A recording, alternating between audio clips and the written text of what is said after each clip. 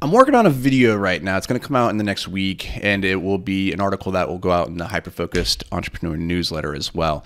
But I really love this topic. I've been thinking about it, been writing about it for the last couple of mornings. It's why people who are dumber than you are making millions. And I just, I love this topic because it, it opens up this cornucopia of different ways that we can attack this problem. And the problem fundamentally is if you are so smart, why are you not rich? Why are you not wealthy? And really unpacking all the reasons that lead us to getting in, in our own way, getting inside of our own head. And like I am guilty of having been there. Like I think of myself as being very smart. I like I, I hold intelligence as like a, as a value very high in my world. And when I was young, it was a core part of my identity. And anything that, you know, tried to subvert that or undermine it in any kind of way did not sit well with me. Um, I had a lot of ego around this. But also because I think of myself as being intelligent, the fact that I was struggling to make money meant that I had to look hard in the mirror and accept one of two possibilities. Either I'm not as smart as I think I am, um, or there's something else. And the truth was, the something else was that I just wasn't doing the work. I was lying to myself in a lot of ways and um, convincing myself that I was doing the work, but I really wasn't. And the biggest thing that I think holding smart people back, and if you're listening to this, you are probably a smart person because um, no dumb dumbs listen to this podcast. Sorry, I polled the audience. Everybody, everybody came back and they're all like, "No, I ain't a dumb dumb," and I'm, I agree, you ain't. So if you're listening to this, you are smart, you are intelligent. So the question becomes, why is it that you are not where you want to be? what's holding you back from accomplishing the, your dreams? And one of the things I think this has nothing to do with money. this podcast actually has nothing to do with with the topic of money. It has everything to do with accomplishing your great like achieving your greatness, moving towards your greatness. And I think smart people struggle with this more than dumb people. The reason for this and dumb like dumb smart, it's not an IQ thing. It's just I'm, I'm throwing these out here as broad categorizations, right? The thing about smart people is you have way more imagination, way more creativity. You have the ability to futurecast, to think through scenarios and to problem solve and to plan and, and all these things. You can see the future so much more clearly. You can see the variables, all the different options. You can see the probabilities of success and failure before you. And you're great at imagining all the things that could go wrong.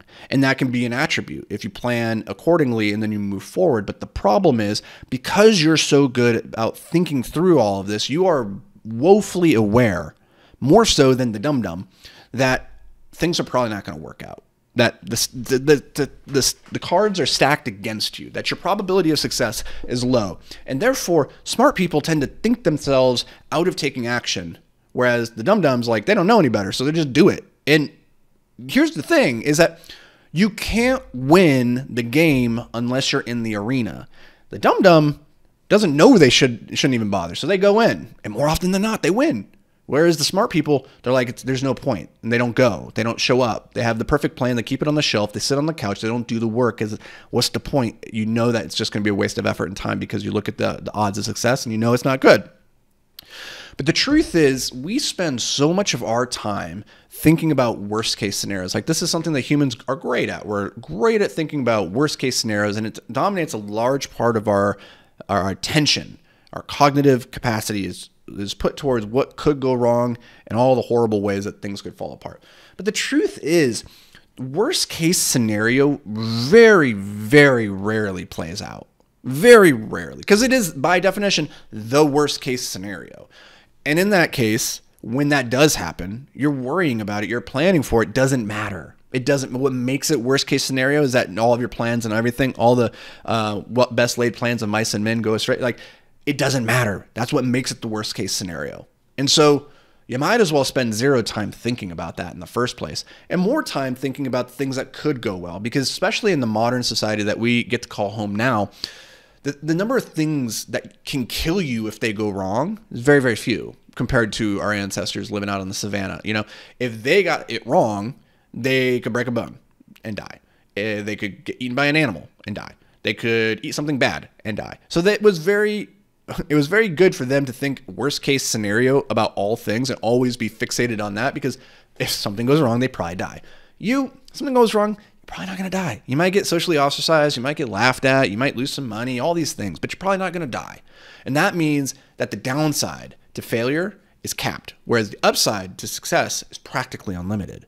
And so if you're smart and you're really thinking through the risk reward, you know, spectrum, you would realize you should take the risk. You should go, you should take the action. You should get in the arena. Because worst case scenario, you lose, but you can just go back in the next day and try again. You do that on a long enough time frame and you'll succeed. And that's why the dumb dumb succeed. Because even after they go in there and they lose, they get their ass kicked, they come back. They don't real they don't learn their lesson. So they just keep coming back. So if you're smart, I don't know, maybe try and dumb it down a little bit. that's what I think about a lot right now because sometimes I think I just get in, I get more in my own way. Like we limit our success more than reality itself. And that's just the truth of the matter. So hope this brings you a little bit of value. Uh, you smart little cookie. Thanks for being here. As always, I appreciate you guys. I'll catch you back around these parts tomorrow. But until then, stay hyper focused, my friends.